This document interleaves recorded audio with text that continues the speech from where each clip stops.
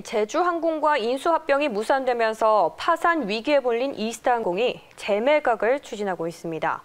이스타항공은 최대한 빠르게 관련 절차를 진행해서 조속한 시일 내 법정 관리를 신청한다는 계획인데요. 하지만 원활한 매각을 위해서 조직 슬림화에 나섰지만 희망 퇴직 신청이 예상보다 저조해 난항이 예상되고 있습니다. 왕성호 기자의 보도입니다. 제주항공과 인수합병이 무산되면서 벼랑 끝에 몰렸던 이스타항공이 최근 재매각 작업에 속도를 내고 있습니다.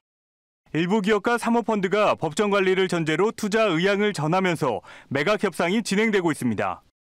이스타항공은 지난 18일 딜로이트 안진 회계법인과 법무법인 율촌, 흥국증권을 매각 주관사로 선정했으며 최근 실무자들과 회의를 열고 재매각 관련 향후 일정 등을 논의했습니다.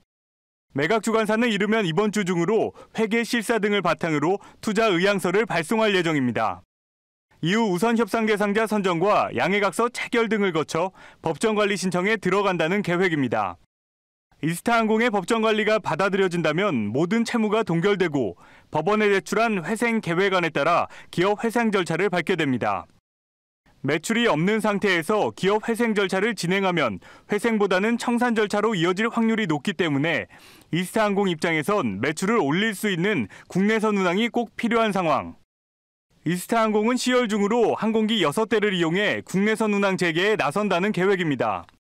운항 재개에 필요한 자금을 법정관리 기업에 대한 대출인 DIP 파이낸싱을 통해 조달해 유류비 등의 각종 채무를 갚고 셔터운 이후 효력이 중지된 항공운항증명 갱신을 신청한다는 겁니다.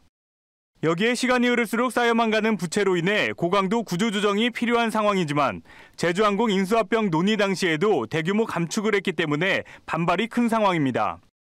오늘까지 정규직 직원을 대상으로 체불임금 우선적 변제와 경영 정상화 시 우선적 재고용 등으로 희망퇴직을 신청받았으나 신청률이 저조해 다음 달 7일 업무평가 결과에 따라 정리해고 대상자를 통보할 예정. 국내선 재개를 통해 경영 정상화를 이루려는 이스타항공의 필요 인원은 대략 400여 명으로 희망 퇴직자와 정리해고자는 700여 명에 이를 것으로 예상됩니다. 어, 저희가 이번에 구조조정이 두 가지. 하나는 저희가 지금 금년적으로 우리 직원들한테 줄 게 하나도 없지 않습니까? 예. 그러니까 그래서 실업급여라도 받고 차상급여라도 받고 생활하고 있어라. 네네. 그리고 또 하나는 저희가 계속 미기급이 쌓이고 있지 않습니까? 쌓이다 보니까 임수희망자들이 그 부담을 느끼니까 100% 재고용을 전제로 한 이스항공 노조는 회사의 재고용을 믿을 수 없다며 순환 무급휴직과 희망퇴직 등을 통해 고용을 유지하자는 입장이어서 난항이 예상됩니다. 제주항공과 인수합병 무산 이후 새 주인 찾기에 나선 이스타항공이 인력 감축과 체불 임금 문제 등을 원만히 해결하고 재운항에 나설 수 있을지 관심이 모아지고 있습니다. 매일경제TV 왕성호입니다.